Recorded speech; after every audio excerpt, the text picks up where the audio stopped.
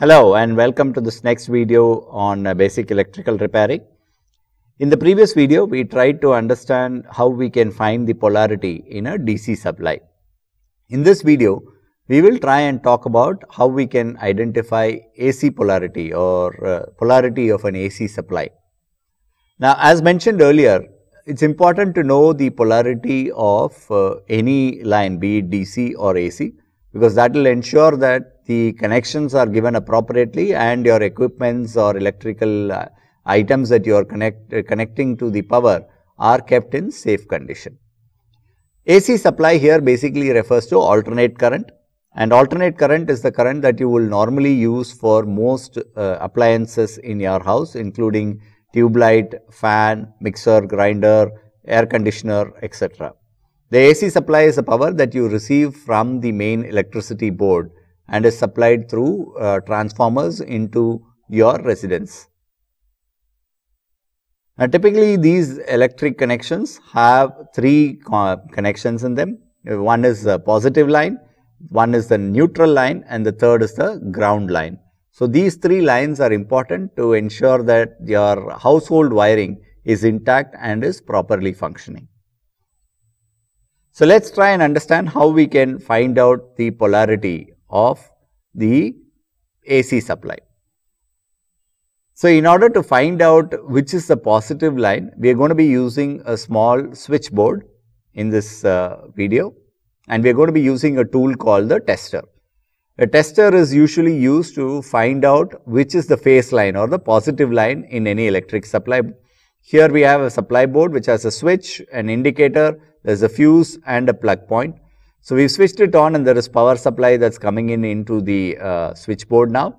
Now, in order to find out which is the phase, we place the tester in one of the plug holes to see if the tester is showing a light. As you can see, there is a light glowing here, which basically means that this is where the phase is connected into this plug point.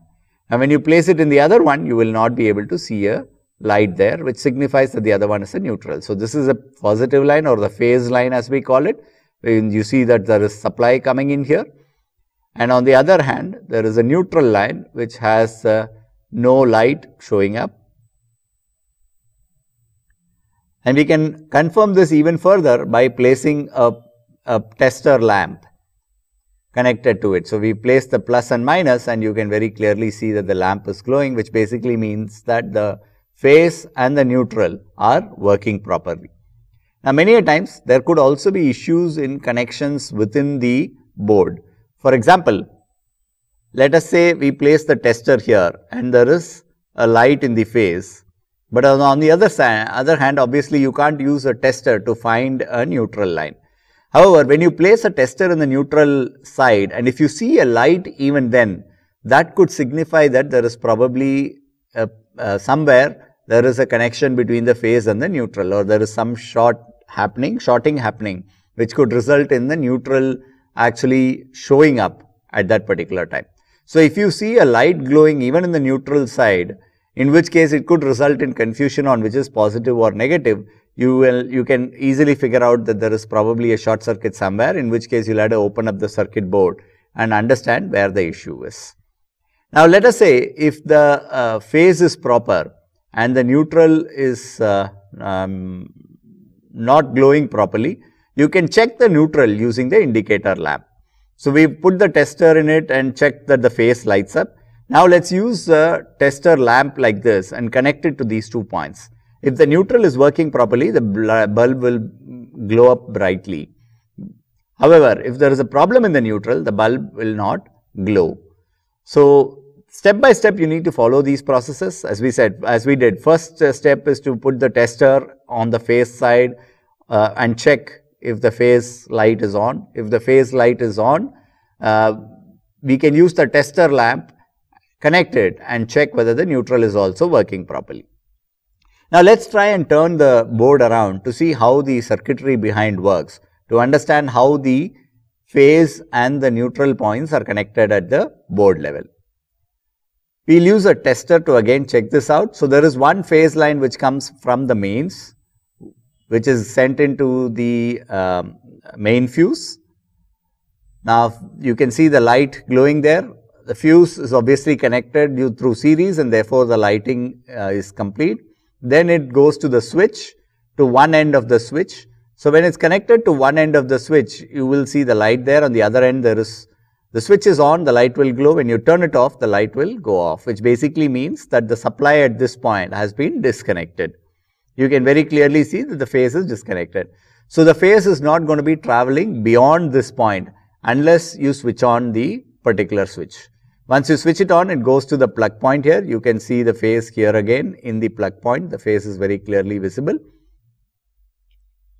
So, the phase comes here and from here it is then connected to the indicator on top and then from the indicator it is finally connected to the other end of the plug point and then finally the neutral is on the right hand side of the plug point. So, if a neutral is at fault your bulb will not glow. So, you can always check the neutral by placing the two points of the tester lamp on two separate aspects one on the phase and the other on the neutral part and that will help you figure out if there is a problem with the neutral or not. So, the reason why as we mentioned earlier the reason why you need to understand phase and neutral is to ensure that you identify the right polarities because a lot of electrical equipments including fans and lights need to be connected in the right position in order to ensure that they function appropriately. And that is the reason why it is critical to understand what is the phase and what is neutral and how these need to be connected while you are doing house wiring. So, in an AC uh, any of the electrical components you can place the uh, connecting points in different uh, positions. You can alternate AC uh, the positive and negative ends of a bulb just as you can see alternating the positive and negative sides of a bulb will not impact the bulb as such. But uh, if your neutral is not proper, if your neutral is not connected uh, properly, then your electrical appliances will not function properly. And that is the reason why you need to know which is a neutral and which is a phase in a household electric supply. As mentioned earlier, the phase can be tested using an, a tester and that the light showing in the glowing in the tester will tell you whether the phase is on or not. But in order to test a neutral, you will have to use an indicator lamp or a tester lamp like this.